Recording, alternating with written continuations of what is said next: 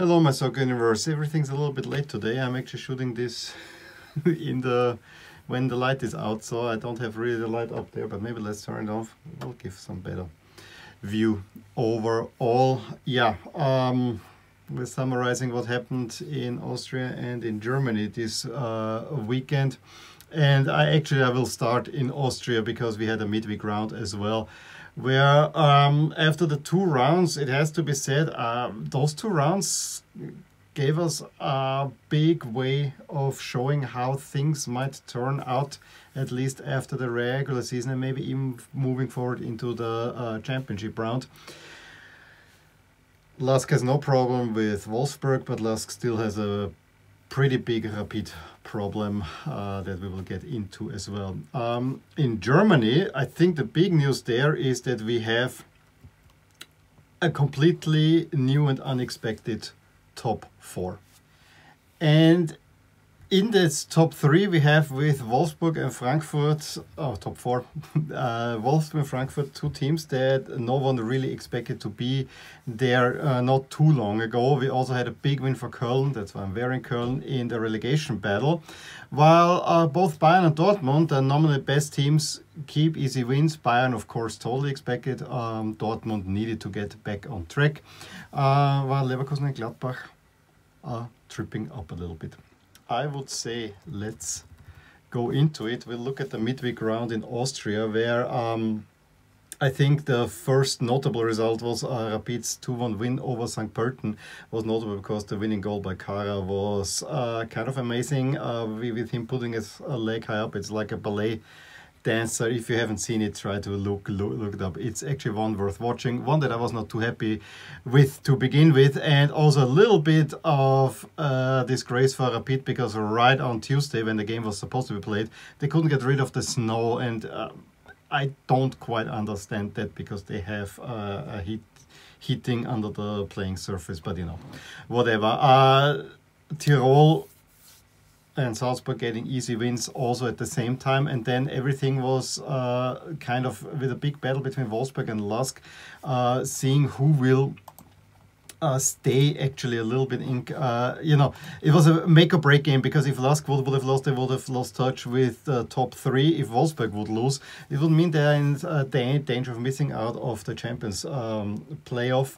So yeah, uh, it was an important game for both teams and it was a very, um, you know, uh, aggressive, intense game, especially in the first half. But uh, with Lask clearly having the advantage, not having big chances, but it was more always going towards Wol Wolfsberg. When Wolfsberg, uh, Wolfsberg was um, attacking. Uh, it was rather rather team. So had clear advantages for Lask, but not clear chances. But the breakthrough came in the second half when after you know the one time the Wolfsberg comes forward to really want to score, uh, Trauner first steadies him he himself a little bit luck uh, with defending, and then a nice quarterback pass into Gruber in the 50th to make it. Um, 1 0, great goal and how he rounds everyone and uh, goal, goal goes in. And then uh, in the 60th, um, a throw in that bounces three times. Eggestein finally controls it, gets it to Gruber, 2 0, game done and dusted. And then uh, James Holland, 79th, adds a third one. So that put me quite positive for the weekend, uh, where I think the other notable result was the one between Austria Wien and Tirol. Uh, that was almost a must win for Austria Wien if they wanted to go into the championship round. They didn't get it. Uh, they had the lead at the half uh, early on, but then Tirol turned turned around, uh, took the lead in the 85th actually, but then the right after Austria can equalize. It ends 2-2, which is basically uh, more a win for Tirol than for Austria. We also had a uh, surprising result with Altach beating Sturm Graz. That came unexpected, a little bit help, uh, at least for Lask. And then Wolfsberg, a big win over St. Pölten, uh, which actually will put them a little bit in a more favorable spot moving forward into the championship round. And then I think it was all down to Lask Rapid, a, a team that Lask has not beaten now in four games in a row. And again, they had our number. Um, the first half was really ping pong. Ping pong was going back and forth. And um, yes, it had advantages Rapid for at least 30, 35 minutes.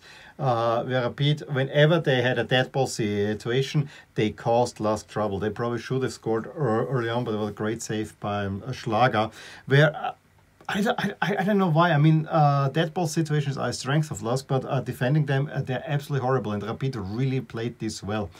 Um, and the first goal came kind of a little bit from a dead ball situation, but, but you know, you had already the ball, you lose, lose it again, and then Grahovac takes a shot that's uh, deflected into the net. I honestly think you should count as an own goal. However, two minutes later, very sim similar goal again um, came from from the side. The ball comes to James James Holland, where the shot also gets deflected, uh, and it's one one in 2021st. And then they hit us again from a free free kick. The Gravel plays and Knasmüllner can pull it in in 23rd.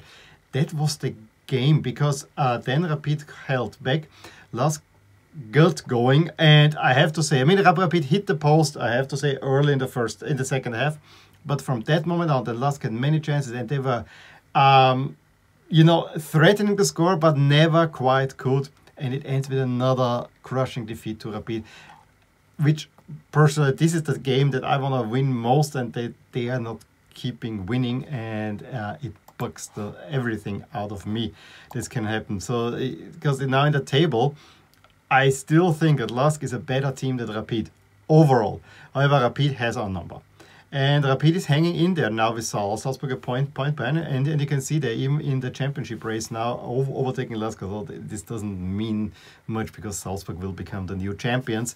Um, but yeah, there is now a distance. We have uh, top two, we have then the next two, and then uh, looks despite the low rating, still rather good for the playoff.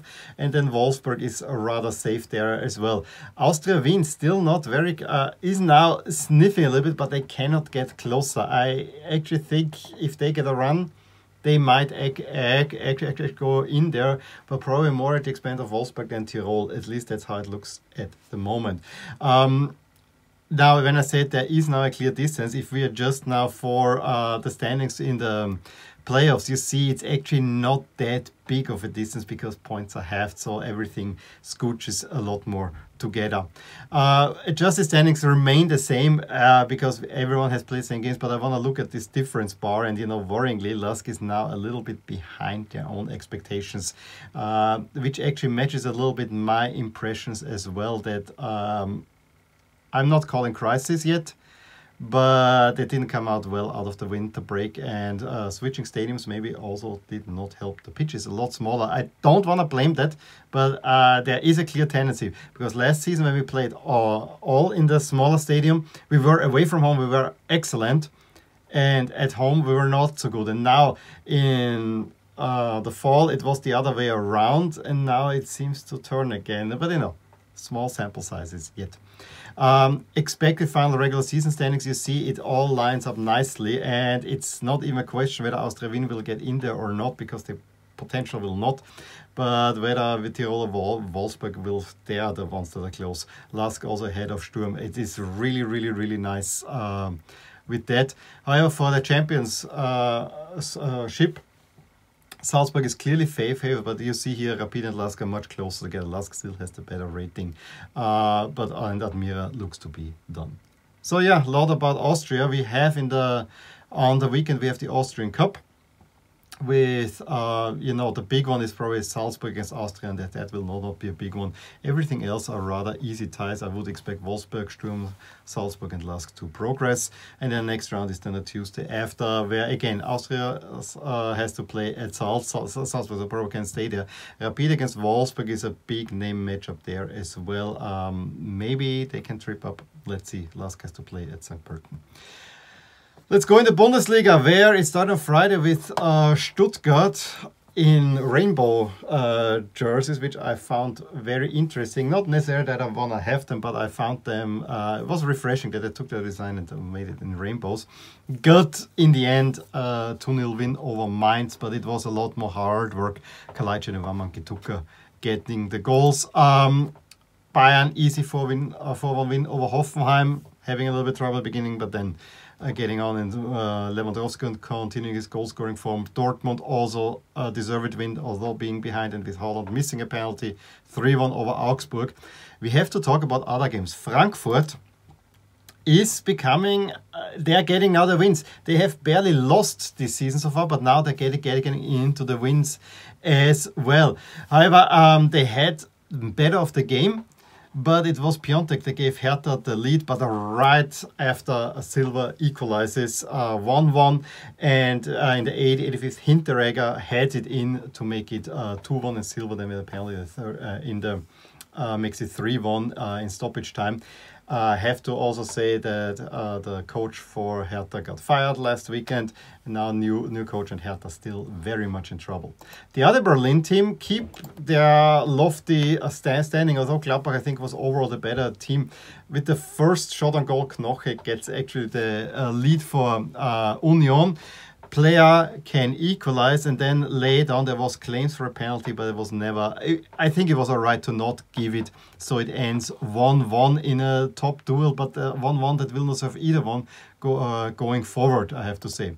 Schalke and had a 1 1 was was unlucky to hang on to it Leipzig against Leverkusen was also a game that largely was dominated by Leipzig, I have to, have, have to say, although Leverkusen had two uh, big chances, especially late on, probably should have equalized, but uh, it would not have been fair because uh, after Nkunku gave Leipzig the lead, they hit the post through Sørloth and then very late onto Sabitzer as well. So I think Leipzig uh, is the uh, deserved winner. Köln can win at home in away jerseys. I think that was the trick, and that's why I'm also wearing the away jersey and not the uh, car carnival jersey.